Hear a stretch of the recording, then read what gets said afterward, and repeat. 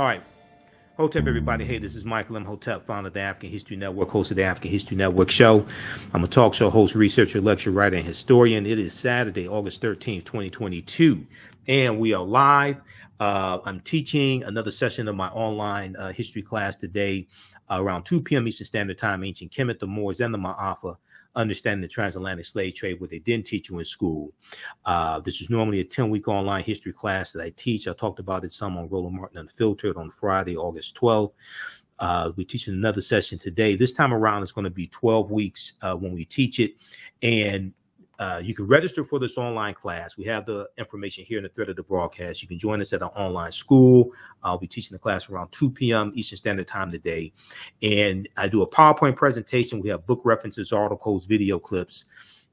Here's a. Uh, I want so I want to do a brief preview today of some of the information we cover in this class. We deal with, deal with thousands of years of history and what leads up to the transatlantic slave trade taking place. So we can't start studying our history and slavery even when we study the transatlantic slave trade, which is important to study, we can't start in 1619 uh, with uh, those 29 Africans in Virginia. We can't start in the 1440s with the Portuguese getting involved in the transatlantic slave trade with uh, Anton Gonzalez in 1441 uh, going into uh, present day uh, Mauritania. We have to deal with thousands of years of history and what leads up to uh, the transatlantic slave trade taking place.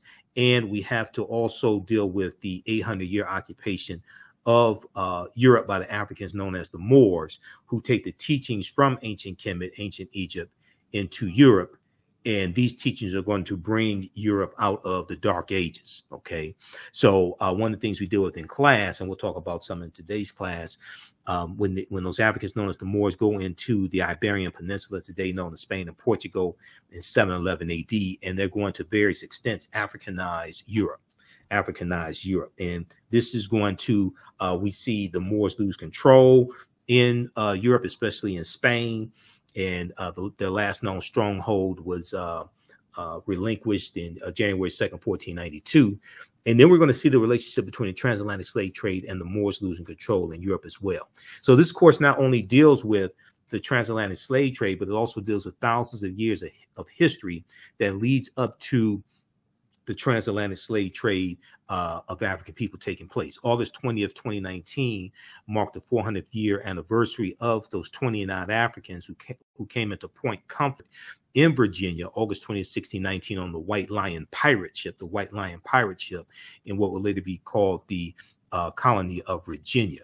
Okay, so um, it's important to also understand that African people have been in the land we call the United States of America going back at least 51,700 years. So even though we talk about uh, 1619, and then uh, also in the class, we, we also deal with 1526 because uh, 1526, you have the Spanish taking Africans into uh, the territory that, to territory that we call uh, South Carolina and Georgia. Okay, that's in 1526. This is 93 years before.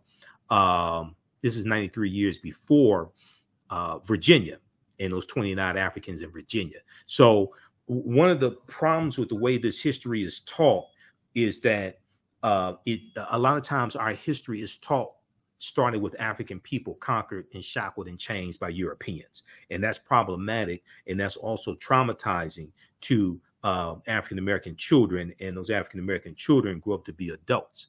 So if you if your understanding of the beginning of African people in this country starts with us conquered by Europeans, shackled in chains, okay, you're going to you're going to probably deal with some self-esteem issues.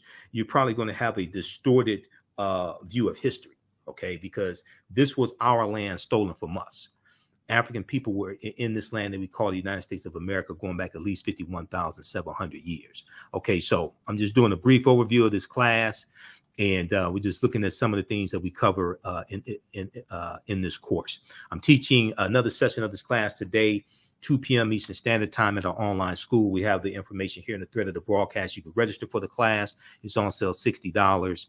Uh, we do the sessions live. All the sessions are archived and recorded. You can go back and watch it anytime or visit our new website, theafricanhistorynetwork.com, theafricanhistorynetwork.com. All right, so this is uh, Dr. David Imhotep, who wrote the book, The First Americans Were Africans, Documented Evidence. In his book, uh, has 713 footnotes, and it deals with thousands of years of history. And uh, page 14 of his book, uh, it deals with a discovery made in 2004 in Allendale County, South Carolina, by Dr. Albert Goodyear. And he uh, discovered 13 uh, different types of evidence that thoroughly document an African presence in this country going back at least 51,700 years ago. These were the Khoisan, who have the oldest DNA DNA on the planet. They come from Southern Africa. They're the ancestors to the Ainu and the Twa. So they found uh, artifacts, architecture, campsites, carvings, footprints in lava, genetic M174D haploid groups dealing with DNA and genetics.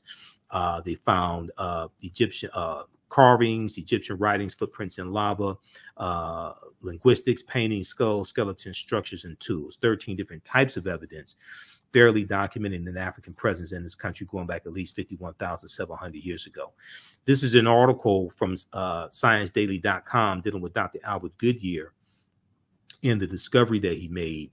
Um, this article is from November 18, 2004. New evidence puts man in North America 50,000 years ago. New evidence puts man in North America 50,000 years ago. Uh, here's a summary of the article from ScienceDaily.com. This is ScienceDaily.com summary. Radiocarbon tests of carbonized plant remains where artifacts were unearthed last May along the Savannah River uh, in Allendale County uh, by University of South Carolina archaeologist Dr. Albert Goodyear indicate that the sediments containing these artifacts are at least 50,000 years old, indicate that the sediments um, uh, containing these artifacts are at least 50,000 years old, meaning that humans inhabited North America long before the last ice age. Okay. So they're talking about these humans that they're talking about are the Khoisan, um, who have the oldest DNA on the planet. They go all around the world and they were here in the land that we call the United States of America as well. Now, this is before the transatlantic slave trade happens. Yet, I'm not saying the transatlantic slave trade did not happen. What I'm saying is we have to understand thousands of years of history before the transatlantic slave trade happened. And unfortunately, a lot of times in classes that we take in college, a lot of times in these conversations that we have, even during African American History Month, oftentimes we start the history of African people in this country conquered and shackled and changed by Europeans, and that's psychologically damaging, okay, to, to our people. So um, this piece right here on the Khoisan cites the information from Science Magazine, an October 2012 genetic study published in Science Magazine found that the that the Khoisan in southern Africa are the oldest ethnic group of modern humans, the oldest ethnic group of modern humans, with their ancestral line originating about 100,000 years ago. The Khoisan, formerly called by the derogatory term Bushmen, are genetically unique, and no other currently known population had separated so early from our common modern human ancestor, according to uh, the report. Now, here um, is a, a, picture of uh, two Khoisan women. Okay, these are the short-statured Africans, the Khoisan, who are the ancestors to the Ainu and the Twa. The Khoisan live mainly in southern Africa, in territories spanning Botswana, Namibia, Angola, Zambia, Zimbabwe, and South Africa. They are largely divided into two groups hunters and gatherers, known as the Sans people, and keepers of livestock, known as the Khoikhoi people. The Khoisan languages include the distinctive click sounds that are not found in languages of their neighbors. Okay, there's a good article that uh, uh, from AtlantaBlackStar.com, five ethnic groups that prove the first humans were black. Okay, so and when we talk about the click language, the click language is the oldest language, and we know that uh, when you look at the film Black Panther, the language spoken in the film Black Panther is isiXhosa, which is a Bantu language spoken in Southern Africa, and isiXhosa has the click sounds in it also. Okay, So, in, as we talk about the film Black Panther, I did a lot, the three months of research to be able to do my lectures on that film. And the film Black Panther relates to African history, African culture, African language, spiritual systems, etc. We look at a number of different archaeological studies uh, and discoveries in this course also okay to deal with thousands of years of history leading up to the transatlantic slave trade, trade then we go through and uh, we analyzed the transatlantic slave trade. This was a significant discovery here in uh, 2010. There was an article from the New York Times that dealt with this called On Crete New Evidence of Very Ancient Mariners. On Crete New Evidence of Very Ancient Mariners. And it, it deals with uh, this discovery uh, made on the Greek island of Crete and they did excavations for two over the course of two summers okay? And they found uh stone tools uh, dating back at least 130,000 years old 130,000 years ago okay? Uh, stone tools found on the greek island of crete uh, archaeologists say are at least 130,000 years old, which is considered strong evidence for the earliest known seafaring in the Mediterranean and calls for rethinking the maritime capabilities of pre-human cultures.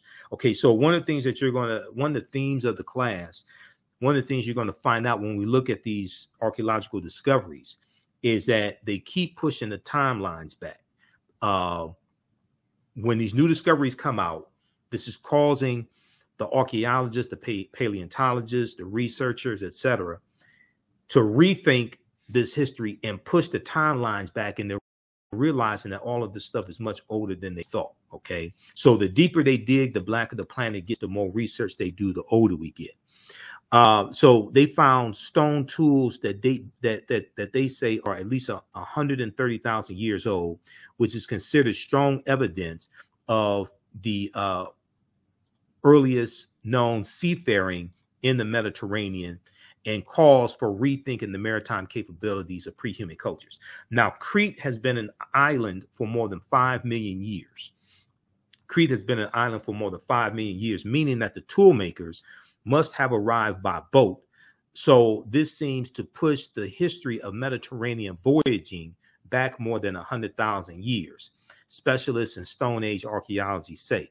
Previously, uh, previous artifact discoveries previous artifact discoveries um, put uh, seems uh, previous artifact discoveries uh, thought that seafaring in the Mediterranean, uh, islands like Cyprus and a few other Greek islands, possibly, possibly Sardinia, uh, were no earlier than 10,000 to 12,000 years ago. Okay. But this discovery here seems to push the history of Mediterranean voyaging back more than 100,000 years. So, once again, the deeper they dig, the blacker the planet gets, the more research they do, the older we get. Okay, so, re, uh, so check out that article. We talk about the lost city of Egypt, Tanis Heraklion, that uh, uh, sunk into the bottom of the sea, and it was it was uh, a discovery in um, 2013 of what this expedition team found, uh, led by archaeologist Franck Goddio. So the the the the, uh, the name of this city was called Thonis-Heracleion, Tanis Heraklion, and this was called the lost city of Egypt. And um, they found uh, the, the the UK publication, the Telegraph, has some good information on this, and there's some other uh, news outlets that reported on this. Actually, all the news outlets had information on this. But uh, the Telegraph reports that 150 uh, feet beneath the surface of Egypt's Bay of Abu Qir, they found 64 ships, 16 foot tall statues, 700 acres, uh, anchors, uh, countless gold coins, and similar artifacts. Countless gold coins and similar artifacts. Now, uh, archaeologist Franck Goddio, who led this ex- excavation, uh, he estimates that Thonis-Heracleion was built around 8th century BC. Okay, built around 8th century BC or BCE. Now, these are some of the uh, artifacts and statues, things like that, they found at the bottom uh, of the sea. Okay, this is straight out of ancient Kemet, ancient Egypt.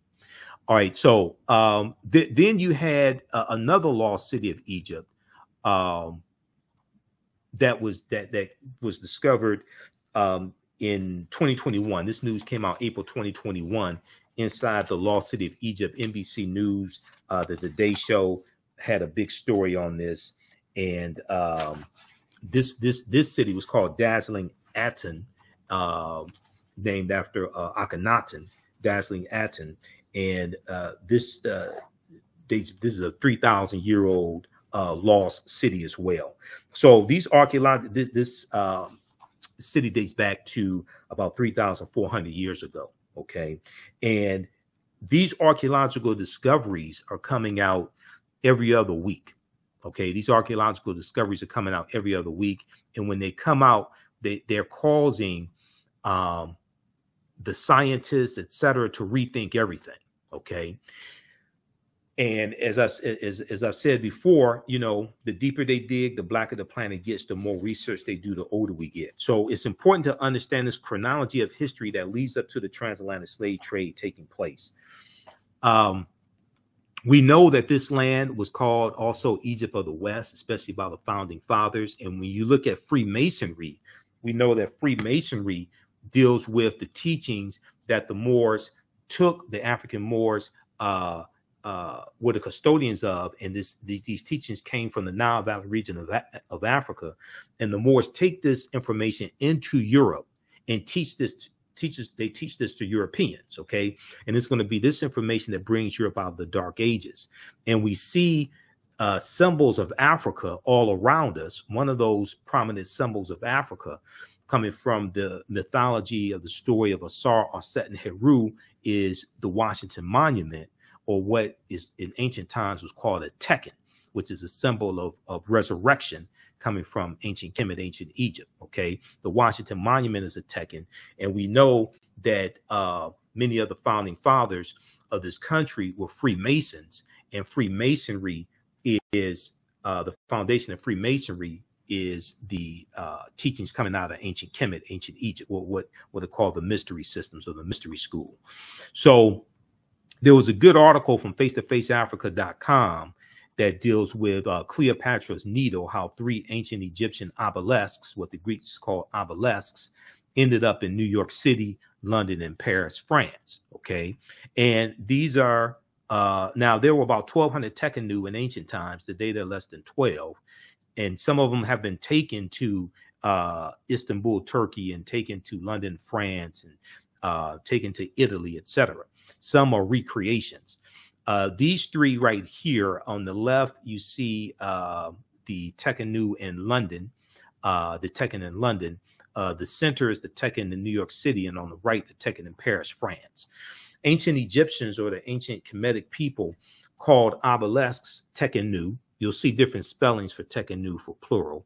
You'll see different spellings of it.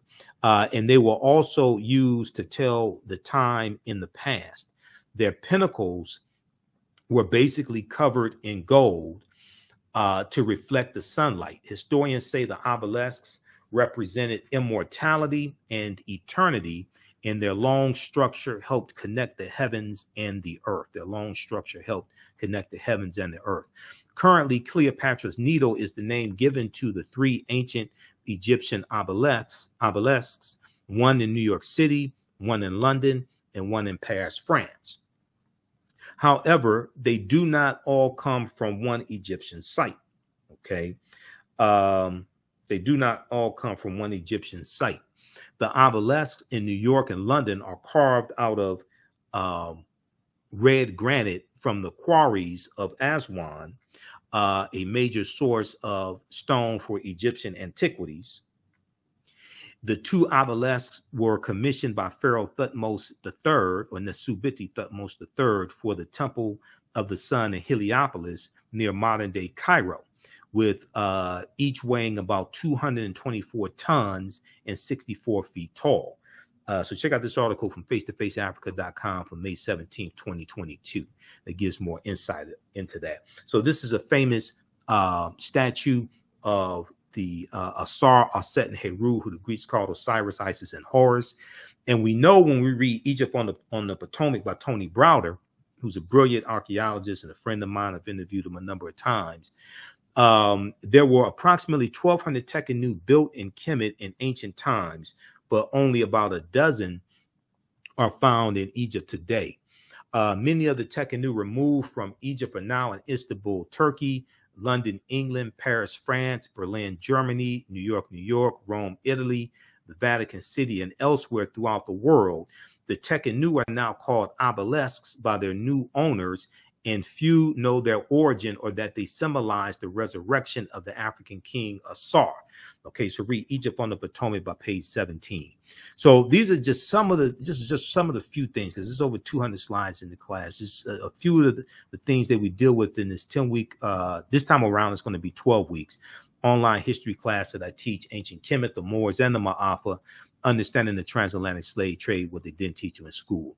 You know, the panther deity that we see in the film Black Panther, Bast, comes from Bastet, which comes out of ancient Kemet, ancient Egypt. And this was a uh, a goddess deity, a neter uh, in the form of a lioness and later a cat, who was a neter of warfare in, in lower Kemet. Uh, the film Black Panther relates to African history, culture, language, spiritual systems. In the Black Panther comic book, we know that the uh, the um, the deities um, are referred to as the or- Orisha, the Orisha, which is the uh, Yoruba term for the deities in the spiritual system of Ifa, practiced amongst the Yoruba in Nigeria. And the Orisha's origin dates back to the ancient Egyptian beings known as the Ennead, and uh, you'll see names like uh, for some of these deities in in Wakanda, Kokou, Thoth, Bast, Mujaji, Ptah, Nyami. Okay, some of those come straight out of ancient uh, Kemet as well. The Ennead referred to uh, means group of nine in Greek, and in ancient Kemet they were called Pesjet. The uh, the the Ennead referred to the nine Neteru. Uh, uh, Atum, which means sun, Shu, air, Tefnut, uh, Tefnut, moisture, geb was uh, referred to the earth, nut, sky, asar, uh, aset, seth, and Nephthys. Okay, so these were the uh, th- this comes straight out of ancient Kemet as well, but we see this represented in the Black Panther comic book also. We know that isiXhosa, which is the language spoken in the film Black Panther, is a Bantu language as well. Bantu is a group of five of some 500 African languages belonging to the Bantoid subgroup of the Benue uh, Congo branch of the Niger Congo language family. The Bantu languages are spoken in a very large area, including most of Africa from southern Cameroon, uh, eastward to, to Kenya, southward to the southernmost tip of the continent, including South Africa. Okay. And we know that uh, Amazulu or Zulu is a Bantu language as well as Kiswahili. So Kwanzaa is a Kiswahili word. That's, that's a that's a Bantu language, also Kiswahili um, as well. So, and we also in this class, of course, you know, we deal with some African civilizations uh, as well, like uh, Carthage and um, Axum, uh, things like this. We talk about Hannibal Barca and the Punic Wars and Publius Cornelius Scipio Africanus and why Africa is not named after Publius Cornelius Scipio Africanus. Uh, we talk about the Kingdom of Great Zimbabwe as well. Uh, and then we deal with uh, some of the history of the Moors. Uh, also, and the Moors conquering the Vandals and the Visigoths, and Tariq ibn Ziyad going into uh, leading an army into the Iberian Peninsula, today known as Spain and Portugal, um, in, in 711 AD, and conquering, and they conquered the Vandals and the Visigoths. They're going to settle in the, in the southern portion of what becomes known as France, and they're going to Africanize the various various extents uh, Europe they're going to create libraries. They uh, are voluminous writers.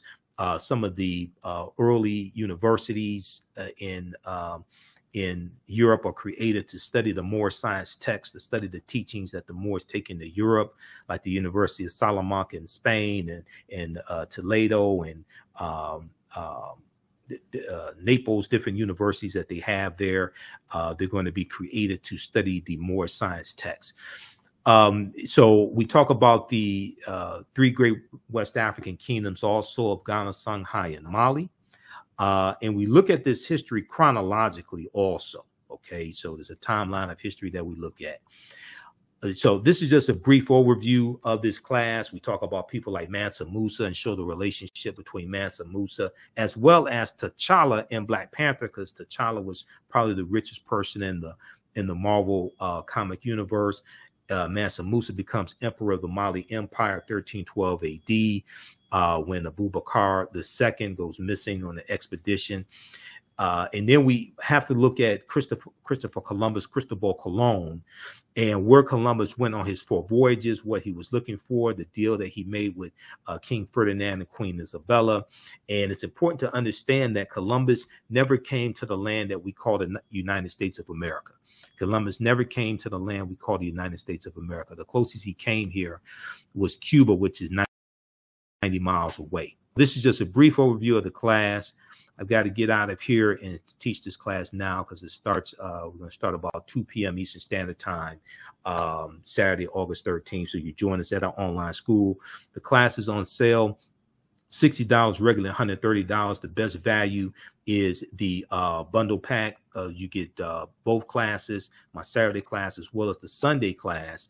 You get both classes for $100 uh, so if you visit our website our new website, theafricanhistorynetwork.com, theafricanhistorynetwork.com. Scroll down the page, you'll see the picture of me and information about my radio show. We have our Cash App information and PayPal. If you want to pay for the class through Cash App, you can send the money through Cash App also. Here's our Cash App tag, dollar sign, the AHN show through Cash App dollar sign the AHN show through Cash App. Click here to register for both classes. Uh, has registered here. You can pay debit card or credit card. Follow the prompts. It, it, gives you the option to use PayPal. And then below that, it gives you the option for debit card, credit card. You don't have to have a PayPal account. So this class here, um, ancient Kemet, the Moors, and the Maafa, understanding the transatlantic slave trade, what they didn't teach you in school. That's regularly $130 on sale, $60. We do the class live. All the sessions are archived and recorded. You can go back and watch it anytime. And then on Sundays, I teach from the Civil War to the Civil Rights Movement and Black Power, 1865 to 1968. Okay. In this class, we start in 1803 with the Louisiana Purchase. And then we look at the Louisiana Purchase and the Haitian Revolution because those two uh, events are related. And then we uh, go through history chronologically. We look at the Civil War and what leads to the Civil War taking place. Civil War, Reconstruction, 1865 to 1877, uh, Jim Crow era, World War One, World War Two, Civil Rights Movement, Black Power Movement, Great Migration, to understand what happened to us after slavery ended, what were the laws and policies put in place uh, to uh, put us in the predicament we're in today to understand where we need to go from here? Okay. And African history and culture gives us our foundation. It gives us our values, our interests, and our principles. And this influences our economic empowerment and political empowerment. Okay. So this these history classes will change the way that you look at history.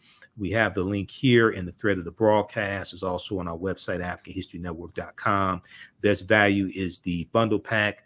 Uh, so it gets you bo- both classes for $100. That's over uh, a $360 value because there's bonus content that you'll get from me also in the class.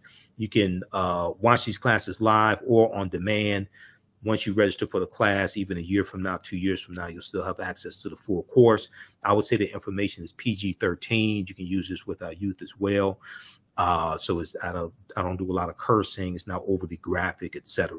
Class is very visual. There's tons of articles that we cite also, so you can check that out. If you have any questions, you can also email me at uh, uh, through the website or at AHN show the African History Network.com, our new web uh, new email address uh, AHN show at the African History Network.com. Okay. So we look to see you in class Saturday and Sunday. And uh, Sundays, I teach from the Civil War to the Civil Rights Movement of Black Power, 1865 to 1968. Look, I have to get out of here. I have to teach this class now. You can join us in class. You can register and join us in class right now. Right now, it's correct wrong behavior is not over till we win Wakanda forever. We'll talk to you.